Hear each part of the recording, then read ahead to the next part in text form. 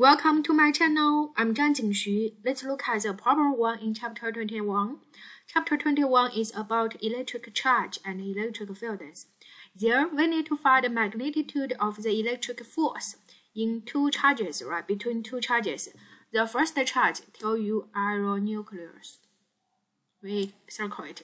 This one tell you the charge is a 26 elementary charge, so we call it Q2, is that fine? So this is Q2 equals to 26 charge. And then it has another one is electrons. So electron just has one elementary charge. Agree? And also the distance is given at their r. Now we need to find the electric force by using Coulomb's law. The Coulomb's law K, Q1, Q2, R squared. And you can see Q is a constant. Q1 is given, Q2 is given, R is given. So you just need to input all the given quantities, get the final answer there.